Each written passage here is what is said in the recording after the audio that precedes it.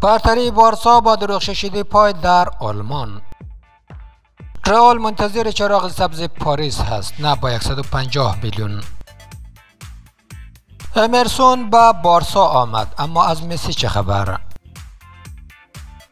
بانوی پیر در کمین شکار از مادرید.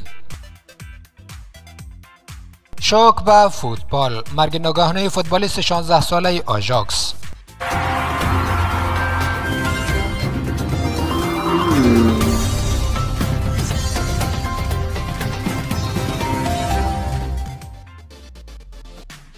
نوا گسر پدیده جوان اکادمی آژاکس در یک سانحه رانندگی در سن 16 سالگی درگذشت. یک از نمایندگان باشگاه آژاکس با تایید این خبر اعلام کرد که این حادثه یک خبر بسیار ناگوار بوده است. این سانحه رانندگی جمعه شب در شهر سلستاین رخ داده و ماشین حامل گسر با یک موتر لاری برخورد کرده است.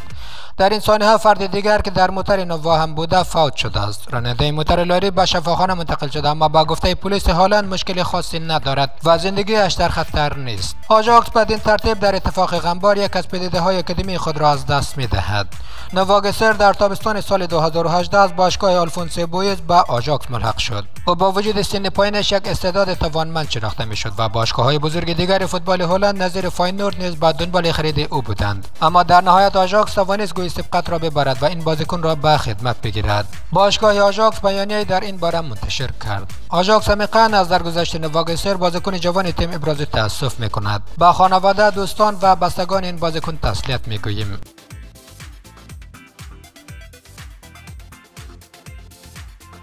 یوونتوس آمده می شود تا آرون رمزی را کنار بگذارد تا بتواند پیشنهاد 34 میلیون پوندی را برای جانشین وی ارائه دهد. یوونتوس قصد دارد پیشنهاد 34 میلیون پوندی را برای تونی کروس هافبک میانی رئال مادرید ارائه دهد. اما آنها ابتدا باید آرون رمزی را بفروشد. یوونتوس پس از آخرین باری که برده چهارم سقوط کرد مایل به بهبود خط میانی خود هست. بانوی پیر در آستانه جذب مانوئل لوکاتلی ستاره ساسولو و ایتالیا قرار دارد.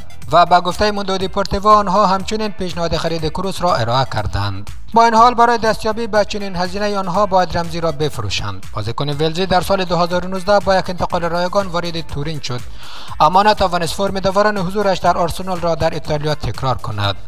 با این حال تاکنون یوونتوس هیچ بازیکنی به جای این هافبک پیدا نکرده است. در مورد رئال مادرید کروس همچنین بازیکن مهمی هست. اما فلورنتینو پرز شاید وسوسه شود که بازیکن آلمانی را بفروشد. زیرا 34 میلیون پوند برای یک بازیکن 30 ساله که تنها دو سال از قراردادش باقی مانده احتمالا بسیار خوب هست. غول اسپانیایی برای دریافت پول نقد تحت فشار هست. اما پرز مصمم است که برای خرید کیلیان امباپه فوق ستاره پاریس سن ژرمن سرمایه گذاری کند.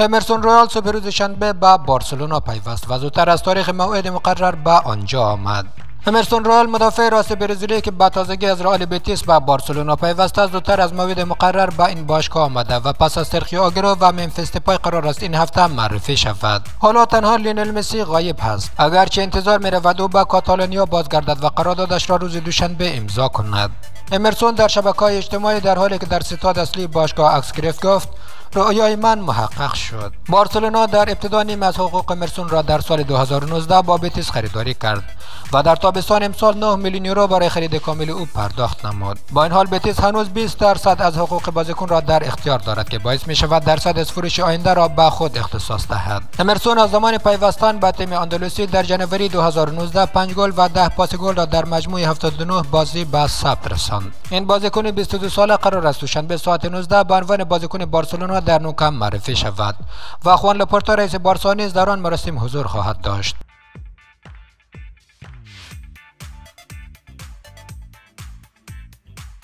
بر بنیاد گزارش ها رئال مادرید خود را برای جذب ستاره فرانسوی آماده کرده و می‌خواهد در هفته های پیش رو با پی اس جی به صورت جدی مذاکره کند. قرارداد امباپه تابستان آینده به پایان می‌رسد و آینده این ستاره ملی پوش خروسا تا کنون در حاله از ابهام قرار دارد. با وجود که پاریسی ها خواهان تمدید با او هستند اما مذاکرات میان باشگاه و امباپه هیچ پیشرفتی نداشته و ظاهرا امباپه در تلاش برای حضور در تیم دیگر برای ادامه فوتبالش هست که ظاهرا این تیم رئال مادرید هست. همین امر نیز سبب شده که مدیران پایتخت نشینان بیمی آن را داشته باشند که او را به صورت رایگان در فصل بعد از دست بدهند. کمتر از یک ماه با پایان نقل و انتقالات تابستانی باقی مانده و طرف اسپانیایی خود را برای مذاکره مستقیم با پی اس جی آماده می کند طبق گزارش 90 مایند پی اس جی نمی‌خواهد امباپه را رایگان از دست دست بدهد و در صورتی که او نخواهد به صورت قطعی تمدید کند حاضر به فروش او خواهد شد. و رئال مادرید نیز منتظر چراغ سبز سوی پی اس جی هست. طبق گزارش ها پی اس جی 150 میلیون پوند برای امباپه درخواست کرده است. اما مادرید امیدوار است که تمایل امباپه به خاطر جدایی باعث کاهش این مبلغ شود.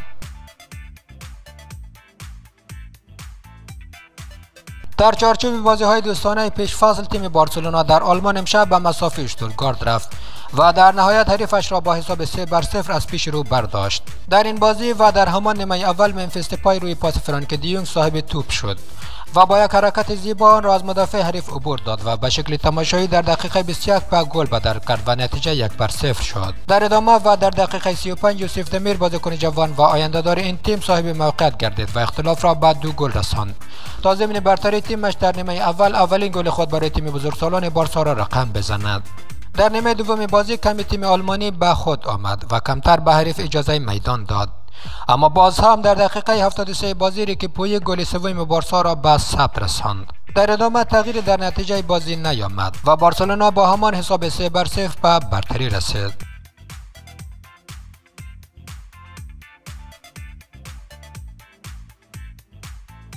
حذف ستاره ها سیاست جدید مادریدی ها هیچ بازیکن بالاتر از باشگاه نیست. سیاست های جدید تعیین شده از سوی باشگاه رئال مادرید باعث شده که بازیکنان تحت سیطره جدی آن باشند و هیچ کدام بالاتر از آن نیست. رئال مادرید با انجام معاملات اخیر و چند معامله قبلی در این باشگاه نشان داد که هیچ بازیکن بالاتر از سیاست جدید رئال مادرید نیست که سران باشگاه آن را تعیین کرده است. آخرین مورد مربوط به مارتین اودگارد هست. رئال مادرید جنوری گذشته در به خروج را بر روی آرسنال باز کرد. در حال حاضر تاریخ هفت ماه بعد تکرار می شود و رهبران باشگاه مادرید این موضوع را در مورد بازیکن نروژی و بسیاری دیگر از بازیکنان تیم اصلی خود کاملا روشن کردند. با جز بازیکنان مانند کورتوا بنزما والورده آلابا و وینیسیوس بقیه می‌دانند که اگر تردید داشته باشند در خروج باز هست. به شرطی که پیشنهادی را دریافت کنند که انتظارات را برآورده کنند. از این تصمیم باشگاه حتی فرلان مندی فرانسوی نیز غافل نیست. در ماه جون مارکا گزارش داده بود که اکثریت بازیکنان تیم آنچلوتی دارای قیمت هستند و در میان آنها اودگارد بازیکنی که به سختی با زیدان موقعیت داشت و اکنون به نظر می رسد هنوز تداوم حضورش را در رئال مادرید مشخص نمی کند سران رئال مادرید می دانستند که بازسازی تیم به این آسانی انجام نمی شود و این شامل خروج برخی بازیکنان مانند سرخیو راموس و وارون هست. مدافع میانی فرانسوی مثال واضح بود که زمان در رئال مادرید تغییر کرده است.